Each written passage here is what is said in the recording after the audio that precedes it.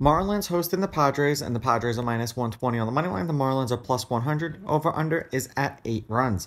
Padres laying a run and a half on the run line are plus 140, meaning if you bet them that way, they have to win by two. While the Marlins getting a run and a half on the run line are minus 170, meaning if you bet them that way, they win this game outright. You win, they lose by one, they win.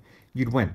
Head to head, the home team is six and four. These teams are five and five against each other in their last ten. The underdog has won the last two games. The underdog is seven and three on the money line. The underdog getting a run and a half on the run line is nine and one. There have been five one-run games in their last ten meetings, including two out of the last four and the game they played against each other yesterday. The under is seven and three in their last ten, and the under eight specifically is 7 2 and 1. Musgrove pitched twice against the Marlins last year. 7 innings, 2 runs, 2 earned. They won that game 3 2 in San Diego. 6 innings, 3 runs, 3 earned. They lost 3 0 in Miami. Luzardo pitched once against the Padres last year. 6 innings, 2 runs, 2 earned. They lost that game 2 1 in San Diego. The Padres are 3 and 3 as a team with Musgrove on the mound. He's averaging 5 innings pitched and 5.2 strikeouts per game in those games. So a battering inning. The Marlins are 7 and 3 as a team with Luzardo on the mound. He's averaging 5.1 innings pitched and 6.5 strikeouts per game in those games.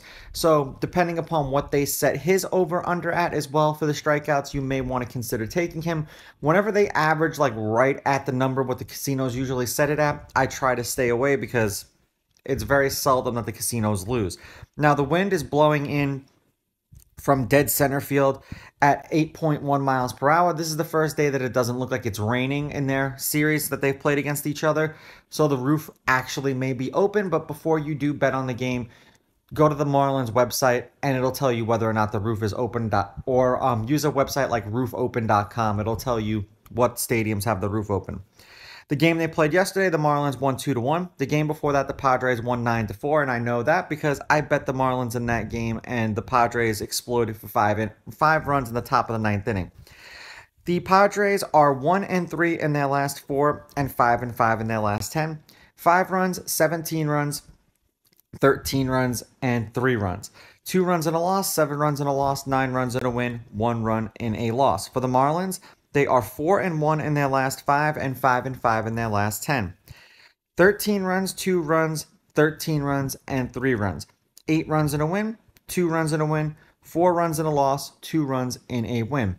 I'm going to take the Marlins with the money line. I'm going to take the Marlins getting the runs, and I'm going to go under in this game.